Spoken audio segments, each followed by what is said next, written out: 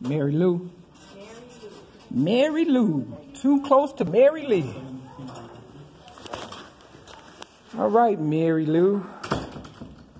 All right, families, get a new support of Maryland. That's to Mary Lee at the bank, and of course, you know, um, Elizabeth is not here, and Trina's not here, and Mary Lou used to be here on Saturdays, but she wasn't here when I came, November 30th, and everything's voice activated. Of course, they was waiting on me to say something so they can get the money electronically from me with my voice.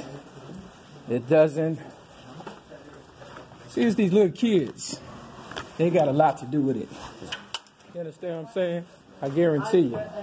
I guarantee you. The, the kids got a lot to do with it. They can't do it without the children. You understand what I'm saying? So we're going to try again tomorrow.